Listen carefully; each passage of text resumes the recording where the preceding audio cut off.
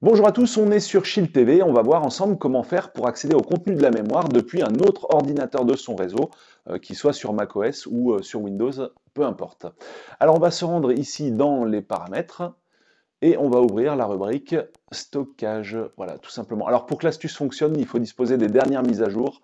Euh, si l'appareil, si la Shield TV n'a jamais été mise à jour, l'option n'est pas disponible. Ensuite ici, on vous propose différentes choses et vous allez choisir ici accéder au Shield depuis un PC. Donc on voit que c'est désactivé par défaut. Et ici, on va cliquer sur Turn On pour l'activer. Et là, on vous donne l'ensemble des paramètres qui, depuis un ordinateur tiers, vous permettront de vous connecter à l'espace de stockage. Et maintenant, on se retrouve sous Windows 10. Et donc, que faire des différentes informations fournies par Shield TV Eh bien, on va aller ici dans le menu démarrer, on va cliquer dessus, on va taper deux fois anti-slash comme ceci, puis on va taper l'adresse IP que nous fournit Shield TV. Allez, 192.168.0.62. Ensuite, on valide tout ça.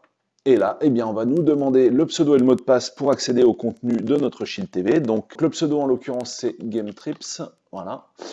Et le mot de passe, si tout s'est bien passé, je clique sur OK et je dois accéder au contenu de ma Shield TV. Et c'est parti, on accède via le réseau au contenu de notre Shield TV. Il ne nous reste plus qu'à faire le ménage en cas de besoin.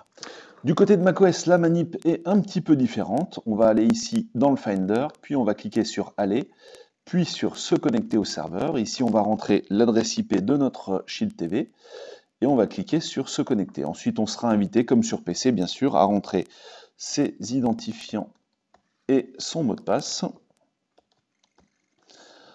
Puis on valide, on clique sur se connecter et là on va de nouveau, comme sur Windows tout à l'heure, accéder au contenu de notre Shield TV.